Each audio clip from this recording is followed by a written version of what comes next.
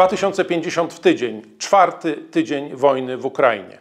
To jest wojna, w której już nie chodzi o to, że żołnierze strzelają do żołnierzy, żołnierze strzelają do obiektów wojskowych. Nie, Rosjanie strzelają do ludzi, do cywili, do szkół, do szpitali. Ostrzelany y, teatr dramatyczny w Mariupolu. Wszyscy znamy te wydarzenia, wszyscy znamy te okrutne fakty. To jest wojna, w której Rosja nie może wygrać. To jest wojna, w której my razem wygramy ale to jest wojna, która jest okupiona straszliwymi ofiarami której trzeba jak najszybciej postawić tamę.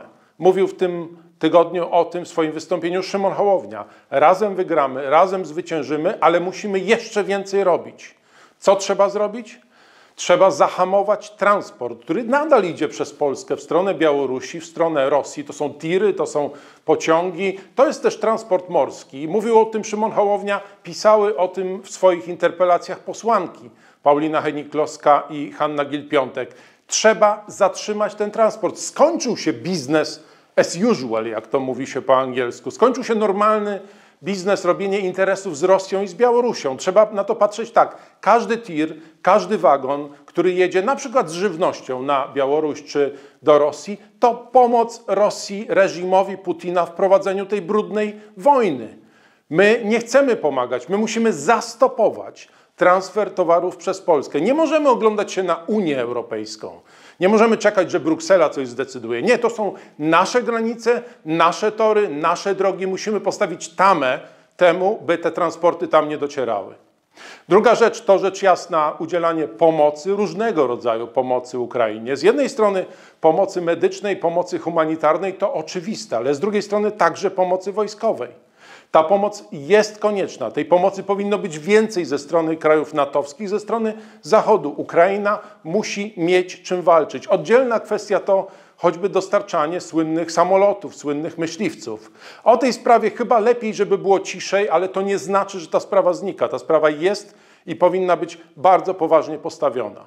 Tematy związane z wojną to z jednej strony udzielanie, tak jak powiedziałem, pomocy, szczególnie pomocy humanitarnej tam na miejscu, na zachodzie Ukrainy. Musimy pamiętać, że wielu ludzi, wielu Ukraińców ze wschodu ucieka na zachód. Tam są setki tysięcy ludzi. My musimy dostarczać naszą pomoc z Polski, z Europy właśnie do zachodniej części Ukrainy.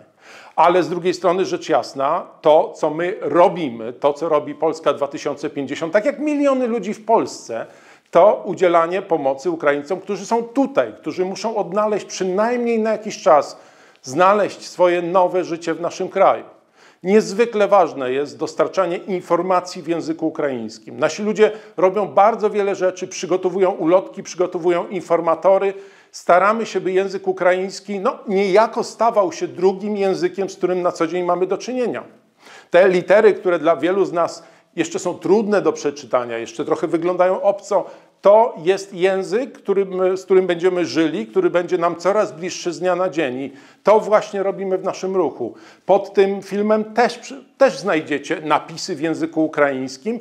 Po prostu do tego musimy wszyscy i chcemy się dzisiaj przyzwyczajać. Musimy i chcemy uczynić tę rzeczywistość polską jak najbliższą, jak najbardziej przyjazną dla setek tysięcy ludzi, którzy już do nas przyjechali i nadal będą do nas przyjeżdżać. Nasze konkretne działania w regionach, jest ich bardzo wiele. Pozwólcie, że tylko kilka wyliczę. Na Mazowszu, Warszawa, gdzie jest już ponad 300 tysięcy uchodźców. Staramy się pomóc w rozwożeniu ludzi z tych miejsc, w których, w których się koncentrują, do miejsc docelowych, do domów. Szukamy tych domów e, i pomagamy w transporcie. W tym tygodniu pomogliśmy kilkunastu rodzinom ukraińskim dojechać, pomogliśmy z transportem do Holandii, gdzie czekają na nich domy.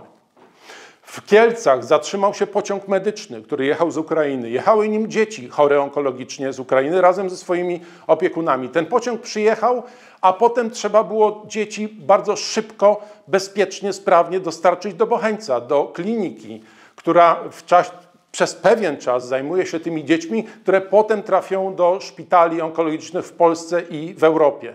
Tam bardzo aktywni byli nasi ludzie. Świecie kujawsko-pomorskim. Tam zorganizowaliśmy w weekend bieg Solidarni, Świecie Solidarne z Ukrainą. I w czasie tego biegu zbieraliśmy datki na pomoc Ukraińcom. Bardzo wiele tego typu akcji, bardzo wiele działań. My jesteśmy i chcemy być aktywni tam, gdzie jest to realnie potrzebne.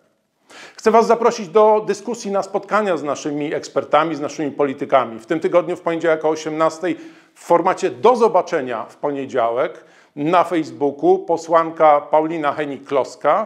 W poniedziałek o 19.30 na Twitterze nasz stały format, stały format Instytutu Strategie 2050. Spotkanie z naszymi ekspertami. Bardzo Was zapraszam do obecności, do udziału, do dyskusji w tych tematach, które są dzisiaj najważniejsze. I jeszcze jedna rzecz absolutnie na koniec. Taki apel i prośba do Was. Uważajcie na siebie. COVID nie zniknął. Przez chwilę zajmowaliśmy rzecz jasna się tylko wojną, ale COVID ciągle jest z nami. 200 osób umierających dziennie w Polsce na COVID to nie jest żart. Wbrew temu, co mówi do Was minister zdrowia, noście maseczki. Uważajcie na siebie, uważajcie na siebie, bądźcie zdrowi.